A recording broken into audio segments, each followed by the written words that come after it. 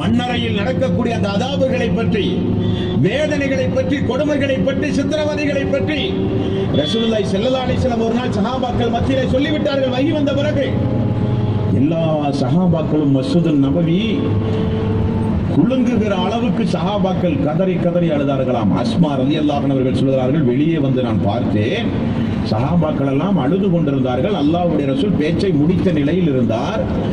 எல்லோரும் எழுந்து போகும் பொழுது ஒரு தோழரை அழைத்து என்ன நடக்கிறது இங்க? ஏன் எல்லோரும் அழுகிறீர்கள்? என்று கேட்ட பொழுது அவர் சொன்னார் மன்னரையினுடைய வேதனைகளை குறித்து ரசூலுல்லாய் செல்லல்லா அலை செல்லாம் எங்களுக்கு விளக்கி கொண்டிருந்தார்கள் என்கிற ஒரு செய்தி அஸ்மா ரதி அல்லாஹன் அவர்கள் அறிவிக்க புகாரி என்கிற நவிமொழி தொகுப்பில் பார்க்க முடிகிறது நண்பர்களே. அப்படியானால் அது நல்லவர்களுக்கு நல்வாழ்த்து சொல்லுகிற ஒரு இடமாகவும் தீயவர்களுக்கு மிகுந்த வேதனைக்குரிய இடமாகவும் அந்த இடம் அமையும் என்பது என்பதில் மாற்று கருத்தே கிடையாது அன்பர்களே. ஆகவேதான் அல்லாஹும என்னை அவுதுபிக்க மின் அதாபல் கபர். அல்லாஹுவே கபருடைய அதாபிலே இருந்து எங்களை நீ காப்பாற்று என்று ரசூலுல்லாய் செல்லல்லா அலி செல்லம் பரலான தொழுகையில் அல்லாஹ்விடத்திலே பிரார்த்தனை செய்யுமாறு நமக்கு கற்றுத் தந்துள்ளார்கள். புனிதமிக்க இந்த ரமலானுடைய மாதத்தில் நாம் ஒவ்வொருவரும் அந்த கபருடைய வேதனைகளிலே இருந்து பிரார்த்தனை செய்ய நாம் கடமைப்பட்டோம் மீது ஏறி.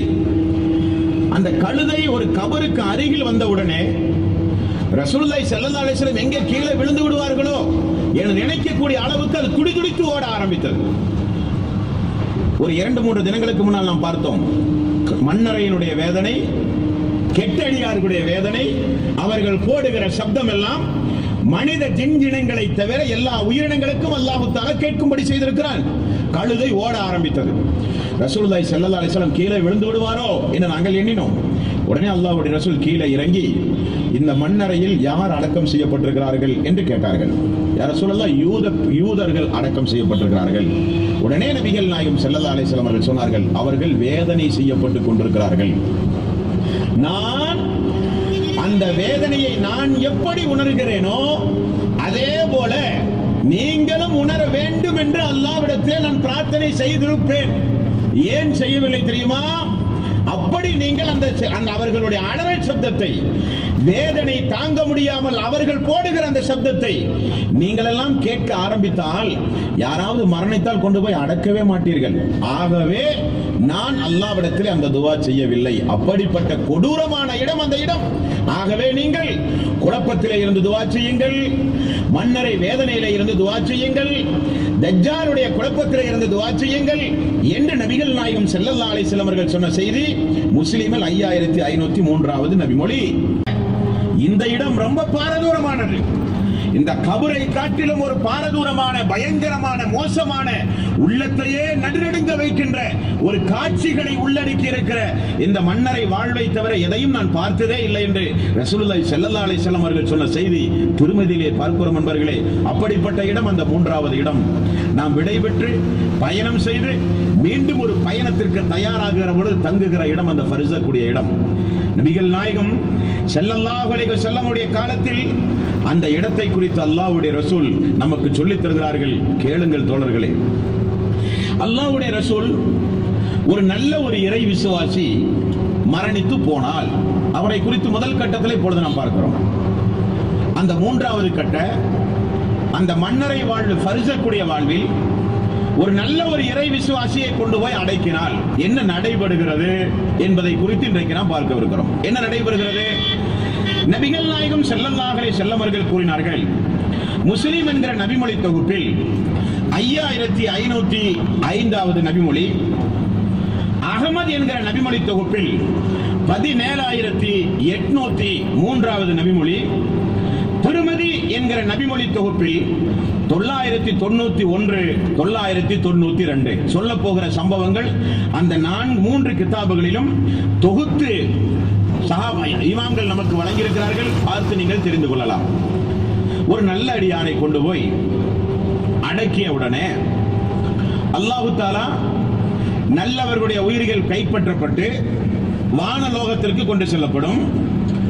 வானலோகத்தில் இல்லையூன் என்கின்ற நல்லவர்களுடைய பதிவு புத்தகத்தில் அது பதிவு செய்யப்பட்ட உடனே இருந்து ஒரு சப்தம் வருகிறது. அந்த உயிரை அவருடைய உடம்பிலே கொண்டு போய் நீங்கள் சேர்த்துங்கள். நம்ம போய் அடக்கின உடனே அந்த உடம்பிற்கு அந்த உயிர் திரும்ப வருகிறது. இரண்டு மலக்குமார்கள் அங்கே வருகிறார்கள்.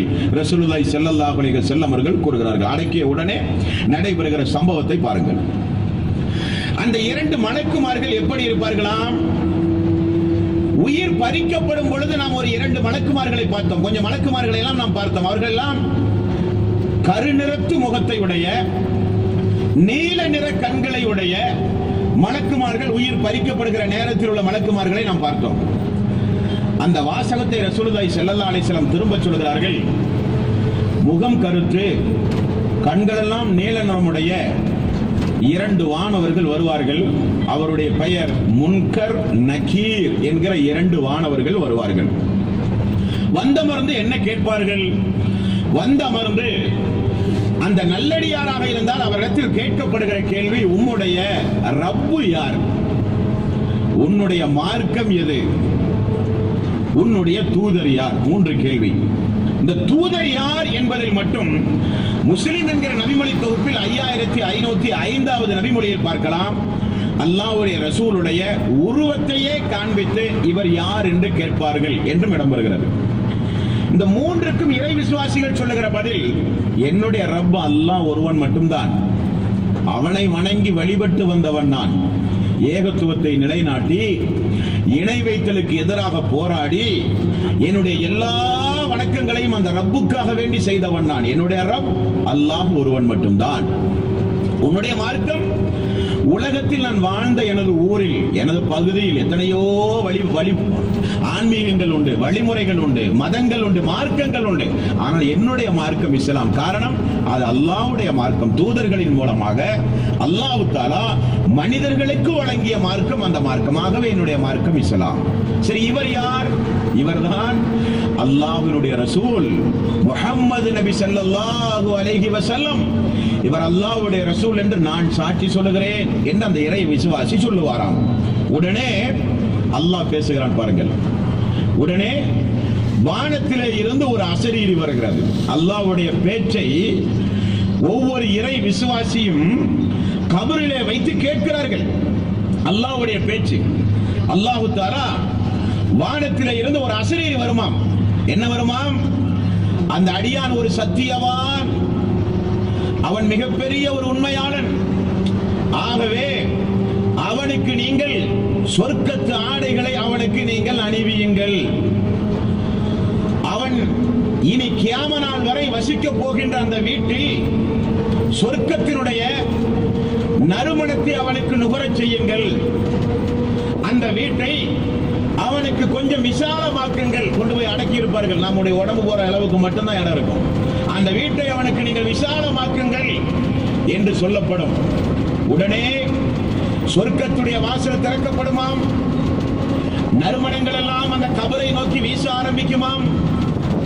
அந்த கபர் எழுபது எழுபதுக்கு எழுபது. இந்த பள்ளி இன்றைக்கு முப்பத்தி ஐந்து அடி இருக்கு. இதே போல ஒரு முப்பத்தி ஐந்து அடி.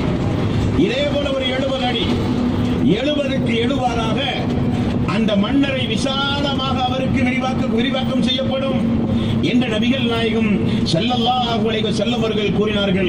அப்படிப்பட்ட ஒரு இறை விசுவாசியாக அல்லாஹு தஆலா நம் அனைவர்களையும் ஆக்கியார்கள் புரிய வேண்டும். இப்பொழுது இந்த அடியான் மாணவர்கள் இந்த பதிலை எல்லாம் கேட்ட பிறகு நீ இப்படித்தான் உலகத்தில் வாழ்ந்தாய் என்று எங்களுக்கு தெரியும் என்று சொல்லுவார்கள். வானவர்கள் திரும்ப சென்றவுடன் மிக மிக அழகான தோற்றத்தோடு பார்ப்பதற்கு கண்ணை கவருகின்ற மிகுந்த அழகான ஒரு தோற்றத்தோடு அவர் இனி கியாமனால் வரை வசிக்க போகின்ற அந்த கபரை நோக்கி நடந்து வருவதை அந்த அடியார் பார்க்கிறார். அவர் வரும்பொழுது சொல்லுகிறார் உமக்கு அல்லாவுடைய சாந்தியும் சமாதானம் உண்டாகட்டும். உனக்கு நற்செய்தி நீ நல்லவருடைய பட்டியலில் சேர்க்கப்பட்டு விட்டாய். உனக்கு சொர்க்கம் என்று சொல்லப்படும். உடனே அந்த அடியான் இவ்வளவு அழகான தோற்றத்தையுடைய நீங்கள் யார் என்று இவர் கேட்கிறார். மௌத்தா போனவர் கேட்கிறார். அவர் சொல்லுகிறார் உலகத்தில் நல்ல நல்ல அமல்களை தேர்ந்தெடுத்து தேர்ந்தெடுத்து செய்தீர்களே. அந்த நல்ல அமல்களை எல்லாம் அல்லாஹு தாரா எனது உருவில் மாற்றி உனக்கு அருகில் அமர வைத்திருக்கிறான். அவர் பேசுகிறார். எதுவரை? கியாம நாள் வரை. நமக்கு இது என்ன பிரச்சனை என்பவர்களை கொஞ்சம் யோசித்து பாருங்கள். வீட்டில் உலகத்தில் எந்த அளவுக்கு சந்தோஷமாக இந்த உலக அளவில் எந்த அளவுக்கு சந்தோஷமாக நாம் இருந்தோமோ அதை விட மூணு மடங்கு சந்தோஷத்தை அல்லாஹு தாலா மன்னரை வாழ்வில் நமக்கு தருகிறான். அப்படி தர வேண்டுமானால் இந்த உலகத்தில் ஹராம் ஹலால்களை பேணி நடத்திருந்தல் அவசியம். இந்த உலகத்தில் அல்லாஹ்வுடைய சோதனைகள் துன்பங்கள் வந்தாலும் தாங்கி பொறுமையோடு வாழ்ந்திருத்தல் அவசியம். இந்த உலகத்தில் நமக்கு வீட்டில் ஏசி இருந்தால் போதாது. இந்த உலகத்தில் மிகப்பெரிய மாளிகை இருந்தால் போதாது. மூன்றாவது கற்க அந்த வாழ்வு சொன்ன இந்த நபிமொழிப்படி நம் எல்லோருக்கும் அமைந்திருத்தல் வேண்டும். அது மிக மிக முக்கியம் நண்பர்களே அடுத்தது பாருங்கள். அந்த இறை விசுவாசி மென்மேலும் சந்தோஷம் அடைவதற்காக வேண்டி அல்லாஹு தாலா அவருக்குரிய சொர்க்கத்தில் அவருக்குரிய இடத்தை அல்லாஹ் தீர்மானித்து வைத்திருப்பானே. அதை தினசரி காலையிலும் மாலையிலும் அவரை தட்டி தட்டி அவரை எழுப்பி அந்த இடத்தை அல்லாஹு தாலா காண்பித்துக் கொண்டே இருப்பான். இதுதான் உங்களுடைய இடம். திருமதியில் தொள்ளாயிரத்தி தொண்ணூத்தி இரண்டாவது நபிமொழி. காலையிலும் மாலையிலும் அந்த இறை விசுவாசி மறுமை நாளில் அவருக்குரிய இடத்தை பார்ப்பார். சொர்க்கத்தினுடைய இடத்தை பார்த்து கொண்டே இருப்பார் என்றால் எவ்வளவு பெரிய ஒரு சந்தோஷம். இப்படியெல்லாம் அந்த இறை விசுவாசிக்கு அந்த மன்னரையில் அந்த சம்பவங்கள் எல்லாம் நடந்து முடிந்த உடனே அவர் திடீரென வானவர்களிடத்தில் சொல்கிறார் வானவர்களே நான் செய்த அமலுக்காக வேண்டி அல்லாஹு தாலா எனக்கு இவ்வளவு பெரிய ஒரு சந்தோஷமான ஒரு வாழ்வை இந்த கபருடைய வாழ்வில் பரிசக்கூடிய வாழ்வில் அல்லாஹ் தந்தானே. சொர்க்கத்தை பார்க்கிறேன். சொர்க்கத்தில் ஆடை அணிவிக்கப்பட்டிருக்கின்றது. சொர்க்கத்துடைய நறுமணம் வீசப்படுகிறது.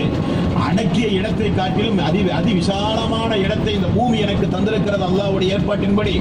ஆகவே என்னை அடக்கிய பிறகு வீட்டிலே உள்ளவர்கள் எல்லாம் அழுது கொண்டிருக்கிறார்கள். போய் சொல்லி சந்தோஷமா தான் நான் இருக்கிறேன். நீங்களாம் ரொம்ப சந்தோஷமா இருங்க. போய் சொல்லிட்டு வருவதற்கு எனக்கு அனுமதி உண்டுமா? நல்லடியார்கள் கேட்பார்களாம். உடனே மலக்குமார்கள் புதிய மணமகனை போல நீங்கள் உறங்குங்கள்.